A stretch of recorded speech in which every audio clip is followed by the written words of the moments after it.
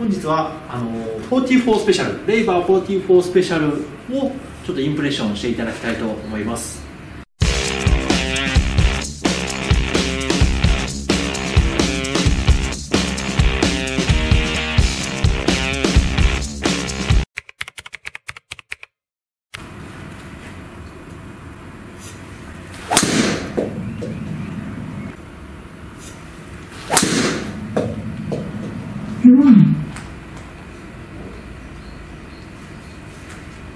低スピンで飛んできますね。やっぱりロフトがこう立ってくるので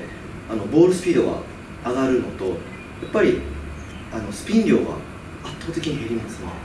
強い球を打ちたいとか吹き上がりたくないっていう人にはそうですね。いや本当に構えた感じあの普通のドライバーより少し短いのでやっぱりもう安心感がなんかヘッドと自分の距離が近いのですごいあるっすね。構えただけで。あやっぱりあのですねこうやっドライバー苦手な方ってこう切り返してこうやっぱり振り遅れる傾向があるんですよね。それがこのシャフトが短いことによって振り遅れにくい肩が上がりにくかったりするのでやっぱりあのドライバー苦手な方には本当に合うスペックじゃないかなと思いますねいやあの全然落ちてる感じしないですっていうのもやっぱバックスピン量が少ないからだと思うんですけどやっぱりヘッド少しロフト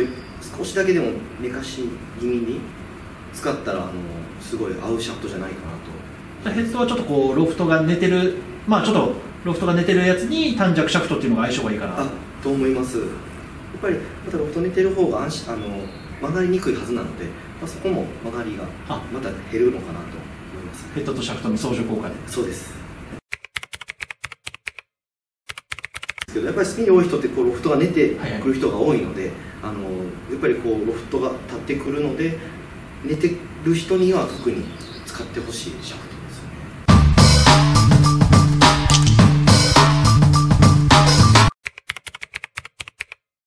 いやもう本当に短いのでやっぱり切り返しがもうここが勝手に降りやすいと思いますね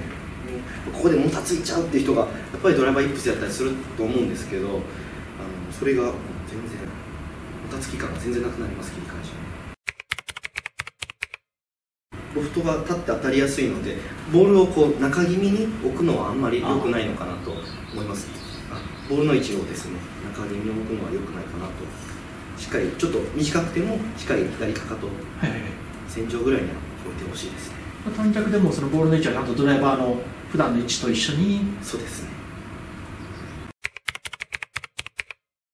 ロフトが立ちやすいのでちょっと打ち出し角が低くなりやすいんです。だからあの地面反力をしっかりこう使ってほしいですね。しっかり。これ地面反力っていうのはそうですね。もうあのしっかりこの膝を伸ばすっていう動作がこれが絶対あった方がいいシャフトだと思います、そうすることによって打ち出し角も出て距離も出やすい。そうです打ち出し角が高くてやっぱテレスピンでずっと落ちてきにくいシャフトあ球になると思いますね。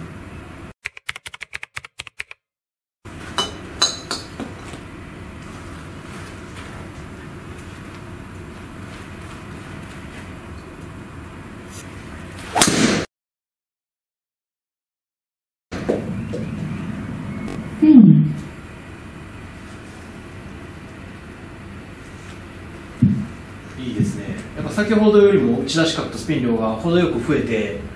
キャリーが伸びてますね。はい。そうですね。本当使いやすいシャフトですね。ありがとうございます。ありがとうございます。